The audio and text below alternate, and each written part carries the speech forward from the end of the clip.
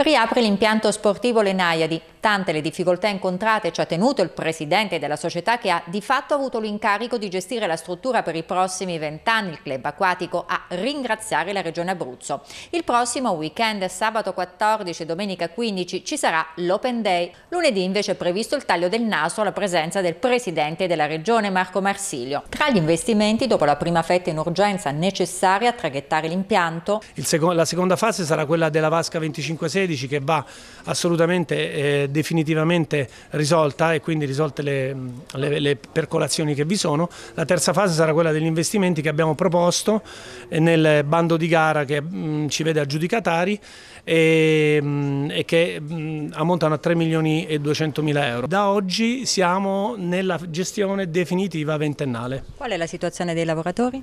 La situazione dei lavoratori è quella che con l'avvio del bando ventennale c'è il riassorbimento in base alla clausola sociale, quindi verranno tutti chiamati, eh, saranno utili sempre che non hanno provveduto a cambiare idea o lavoro, però insomma noi li aspettiamo, non abbiamo avuto contatti se non con alcune persone che già da domani verranno contrattualizzate e che già eh, da subito saranno il 45% della forza lavoro eh, originaria.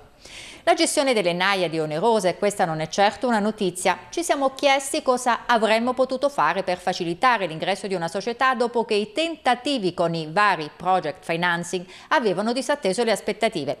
Ribadisce sostanzialmente una soluzione studiata a tavolino mesi fa il Presidente del Consiglio regionale Sospiri che oggi semplicemente si concretizza. Dandogli il tempo eh, per poter trovare eh, sul mercato finanziario del credito agevolato sportivo la capacità di fare gli ingenti lavori che ricordo sono alcuni milioni di euro alla fine di un percorso necessari alle Naidi per essere un impianto che la stessa Federazione Italiana Nuoto ha giudicato in queste condizioni non sostenibile.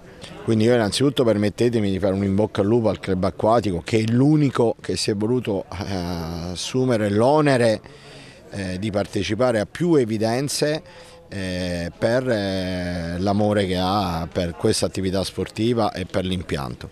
E credo che tutti quanti tutti quanti dobbiamo cercare di sostenere, aiutare e proteggere l'unico fatto che conta è che le Naedi stanno riaprendo